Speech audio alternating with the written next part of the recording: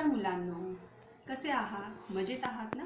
मजेतच घरी राहा आणि सुरक्षित राहा. आपल्या आईवडिलांची देखील काळजी घ्या. मी श्रीमती पासलकर सुवर्णा उपशिक्षिका जिल्हा परिषद प्राथमिक शाळा लोणी आज या ठिकाणी इयत्ता तिसरीच्या परिसर अभ्यास या पुस्तकातील पारदर्शक पदार्थ आणि अपारदर्शक पदार्थ ओळखणे हा घटक घेणार आहोत. तर या घटकासाठी लागणारं साहित्य या ठिकाणी मी आणलेलं आहे. ते आपण पाहूया. मेणबत्ती नाणी काच पाणी भरलेला ग्लास गढूळ पाणी पाण्याचा बाऊल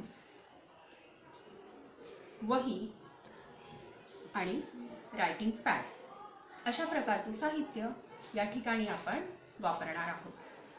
सर्वप्रथम आपण काडेपेटी पेटवूया. स्टार्ट काडेपेटीच्या साह्याने या ठिकाणी मी आता मेणबत्ती पेटवलेली आहे.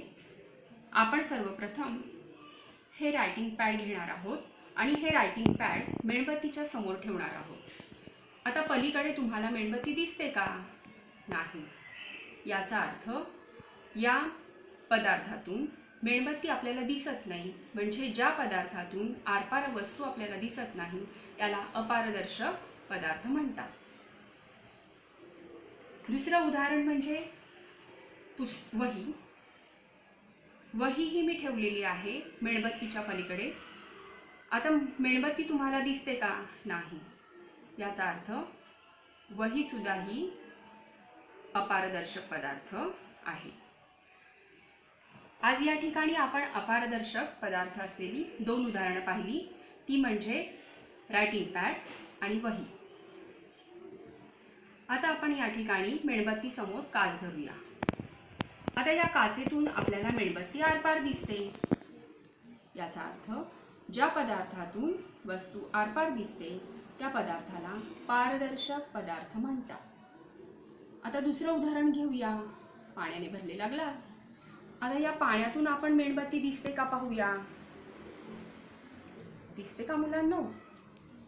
दिसते ना? पाण्यातून आपल्याला मेणबत्ती आरपार दिसते.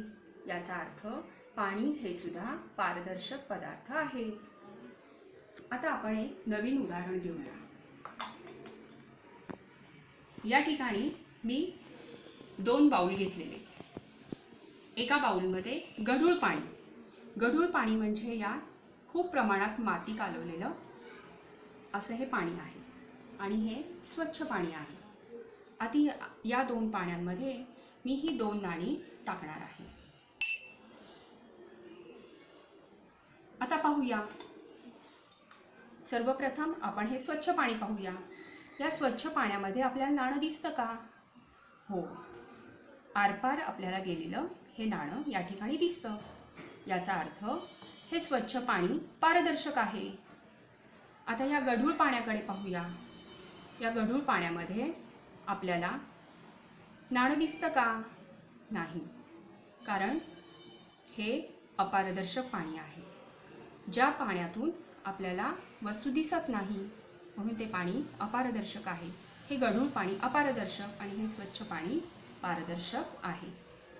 तर आजच्या या आपल्या कृतीवरून आपण सर्वजण पारदर्शक पदार्थ ओळखणे अपारदर्शक पदार्थ ओळखणे शिकलो.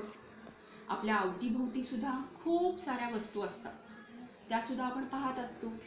एकमेकांना ओळखत असतो. पण हे सर्व आपल्या हवेच्या माध्यमातून आपण हे करत असतो. तर ही हवा जी आहे ही सुद्धा पारदर्शक पदार्थांमध्ये येते. तर तुम्हाला आता खूप साऱ्या पारदर्शक अपारदर्शक गोष्टी समजल्याच आहेत.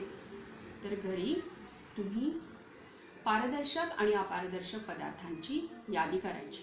कराल ना? धन्यवाद